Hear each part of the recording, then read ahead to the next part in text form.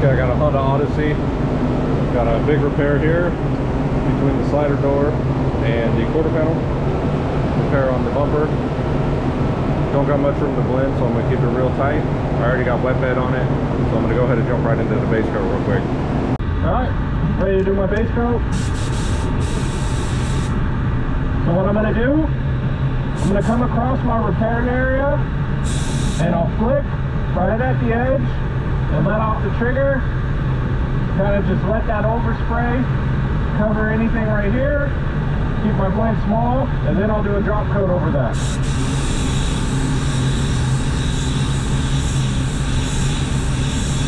Yeah, right about here, I'm letting off the trigger. I'm flicking and then letting off the trigger. I don't want to go all the way out. And me doing that, I'm getting coverage over here at the same time. So then I can work back.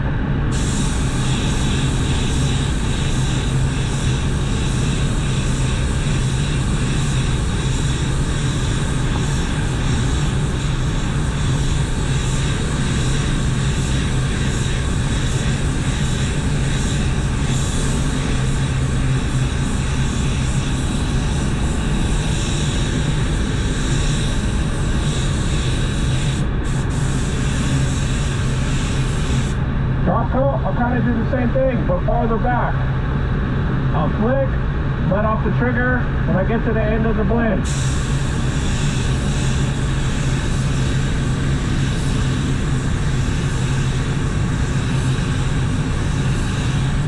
So there, as you can see, it's blended out nice. I don't have, I got a little bit of overspray over here, but not much. Nice tight blend, keep the color within that panel.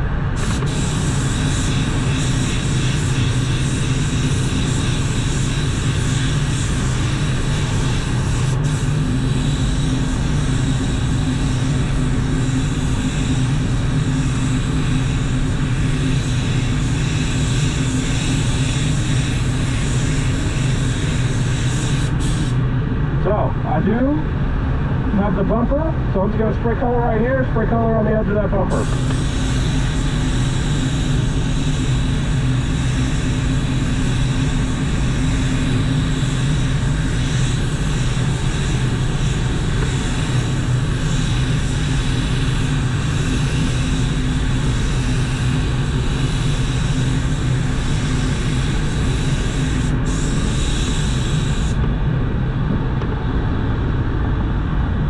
Alright, so for the bumper, there's nothing over here.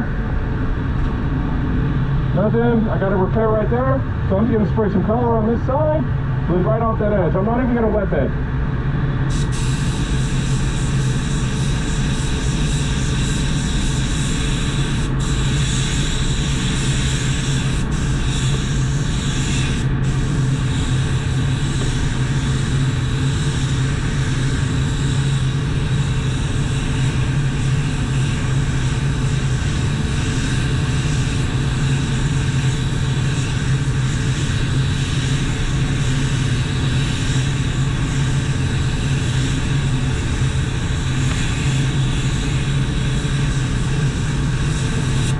Alright, That. I check it with the light. I should be ready for clear.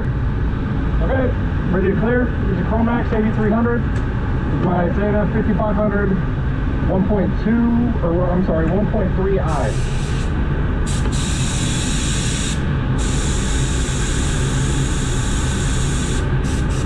Alright, I got fluid wide open, fan wide open, 30 psi.